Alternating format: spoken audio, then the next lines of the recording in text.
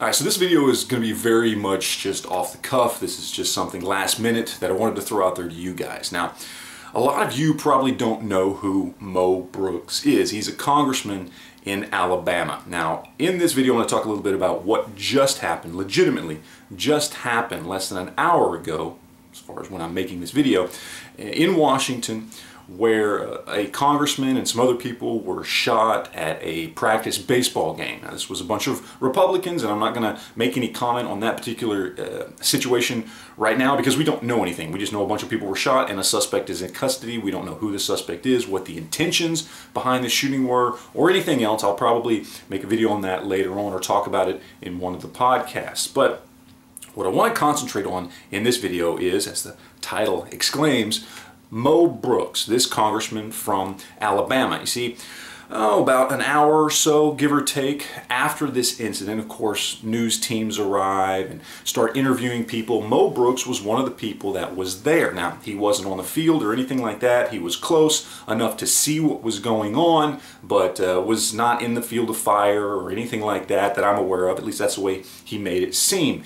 And keep in mind, Mo Brooks is a seasoned politician. All right, he should even in stressful situations, even uh, after seeing uh, what happened happen, um, he should be able to speak properly. He should be able to, especially as a Republican who is supposed to be pro-gun and conservative, he should be able to deal with, let's say, the media when they're asking him tough questions or, or uh, asking him what happened or whatever it may be.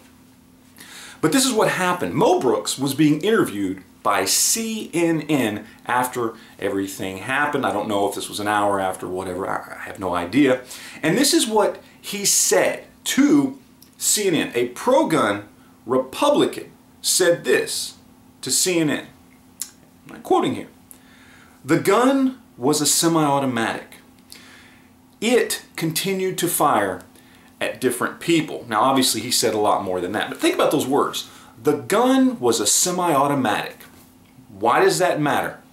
Why does it matter what type of gun it was?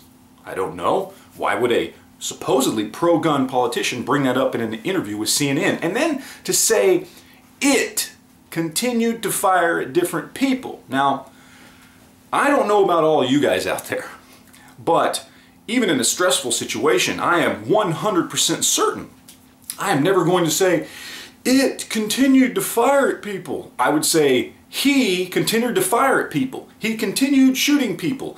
You know, he just kept pulling the trigger. There are a hundred other things that would pop into my head as somebody who is pro-gun before I would say, it continued to fire at people. CNN even points out that he made a distinction saying it was a semi-automatic rifle. He just didn't know what kind and it continued to fire at people. Really? That is straight up blaming the gun for this particular incident. He, right then and there, told CNN that the gun was the problem. Never mind the fact this happened in Washington, D.C. with, if not the most, some of the most strict gun control laws across the country, period. But a supposed pro-gun Republican went up to CNN and basically blamed the gun. I don't know. I don't know.